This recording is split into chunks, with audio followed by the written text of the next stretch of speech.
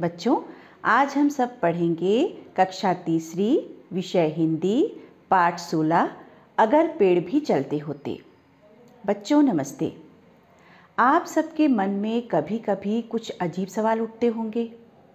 जैसे कि, काश हमारे पंख होते और हम भी पक्षियों की तरह उड़ते।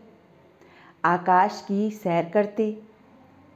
काश हम भी शेर जैसे जंगल के राजा बनते। ऐसे बहुत सारे सवाल आपके मन में आते होंगे। बच्चों, ऐसे ही एक बच्चे की मन की बात आज हम जानेंगे। इस कविता में पाठ सोलह, अगर पेड़ भी चलते होते। बच्चों, ये कविता है, इसे मैं पहले पढ़ूँगी और आप भी मेरे साथ पढ़ेंगे। अगर पेड़ भी चलते होते, कितने मज़े हमारे होते। बाँध तने में उसके रस्सी जहाँ कहीं भी हम चल देते। अगर कहीं पर धूप सताती, उसके नीचे हम छिप जाते। भूख सताती अगर अचानक, तोड़ मधुर फल उसके खाते। आती कीचड़, बाढ़ कहीं तो ऊपर उसके झट चढ़ जाते। बच्चों, कैसी लगी आपको कविता? अच्छी लगी ना? तो बच्चों अब मैं इसका अर्थ बताऊँगी। अगर पेड़ भी चलते होते, कितने मज़े हमारे होते। बाँध तने में उसके रस्सी जहाँ कहीं भी हम चल देते। बच्चों, इसका अर्थ है, अगर पेड़ चलते होते तो बहुत आनंद आता। पेड़ों में रस्सी बांधकर जहाँ चाहते, हम वहीं पर पेड़ को खींच कर ले जाते। अगर कहीं पर धूप सताती, उसके नीचे हम छिप जाते। भूख सताती अगर अचानक, तोड़ मधुर फल उसके खाते। बच्चों, मधुर का अर्थ होता है मीठा। और अब इसका अर्थ मैं आपको बताती हूँ। अगर किसी जगह तेज धूप से हम परेशान हो जाते तो उस पेड़ की छाया में बैठ जाते। और अगर हमें ज़ोर से भूख लगती तो उस पेड़ के मीठे फल तोड़कर हम खाते और अपनी भूख मिटा लेते।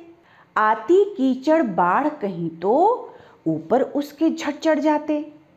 बच्चों, इसका अर्थ है, अगर कहीं पर बाढ़ आ जाती खूब बारिश होने से या वर्षा से चारों ओर कीचड़ फैल जाता तो फ़ौरन पेड़ पर चढ़कर बाढ़ और कीचड़ से अपना बचाव कर लेते।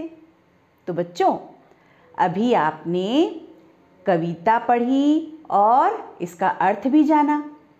और आपने इस कविता से क्या सीखा बच्चों?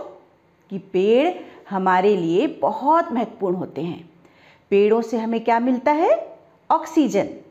और फल फूल मिलते हैं, कागज़ मिलता है, जिस पर हम लिखते हैं, और बहुत सारी चीज़ें प्राप्त होती हैं। बच्चों, अब हम इस पाठ के कुछ अभ्यास कार्य करेंगे।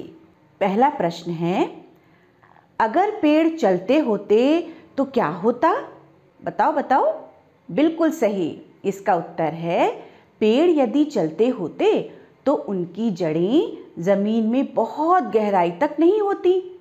वे चलते फिरते नज़र आते और पेड़ों के चलने से लोगों को पशु पक्षियों को सबको परेशानी होती।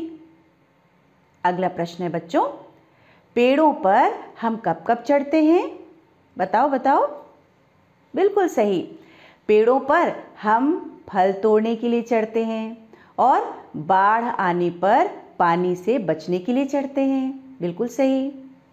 अगला प्रश्न है, पेड़ों से हमें क्या लाभ होता है? बताओ बच्चों। बिल्कुल सही। पेड़ समस्त प्राणियों और जीवधारियों के जीवन रक्षक हैं। ये हमें फल, फूल, चारा, लकड़ी और बहुत सारी वस्तुएँ देते हैं। अगला प्रश्न है बच्चों, अगर पेड़ ना होते तो हमें क्या कठिनाइयाँ झेलनी पड़ती? बताओ बताओ। बिल्कुल सही। पेड़ पौधों के बिना जीवन की कल्पना नहीं की जा सकती है, क्योंकि इससे हमें ऑक्सीजन मिलती है, जो जीवन के लिए बहुत ज़रूरी है। इसके अलावा पेड़ों से हमें लकड़ी, दवाइयाँ, कागज़, फल, फूल, बहुत सारी वस्तुएँ प्राप्त होती है। बच्चों, अगला प्रश्न है, सही विकल्प पर सही का निशान लगाओ। पहला है, मज़े शब्द के समान तुक वाला शब्द लिखो। यानी जैसे मज़े शब्द है, उससे मिलते जुलते शब्द पर आपको सही का निशान लगाना है। अ, बजे। ब, राजा। स, फल। बच्चों, इसका सही जवाब बताओ? बिल्कुल सही, बजे। अगला प्रश्न है, इनमें से फल का नाम है अ, अमरूद, ब, मीठा, स, रायपुर। बताओ बताओ। बिल्कुल सही, अमरूद। अगला प्रश्न है बच्चों। अमरूद होता है अ कड़वा, ब नमकीन, स मीठा। बताओ, बिल्कुल सही, मीठा, अमरूद मीठा होता है। अगला प्रश्न है बच्चों, तना है मेड़ का एक भाग, ब पेड़ का एक भाग, स रेल का एक भाग। बताओ क्या होगा इसका सही जवाब? बिल्कुल सही। पेड़ का एक भाग। बच्चों, अब मैं आपको गृह कार्य के लिए कुछ प्रश्न दे रही हूँ। इसे आप घर में करेंगे। पहला प्रश्न है, अपने आसपास के पेड़ों को पहचानो और उनके नाम नीचे दी गई तालिका में लिखो। तालिका में लिखा हुआ है, बच्चों, देखो ध्यान से। फलदार पेड़ कांटों वाले पेड़, छाया देने वाले पेड़, फूलदार पेड़। आपको इन्हीं के अनुसार उनके नाम लिखना है। अगला प्रश्न है, पेड़ों की रक्षा करने के लिए आप क्या क्या कर सकते हैं? सोच कर लिखना है। और तीसरा प्रश्न है बच्चों, पेड़ का चित्र बनाकर उसमें रंग भरो। तो बच्चों आज यहीं तक। अगली कक्षा में हम फिर मिलेंगे। तब तक के लिए नमस्ते।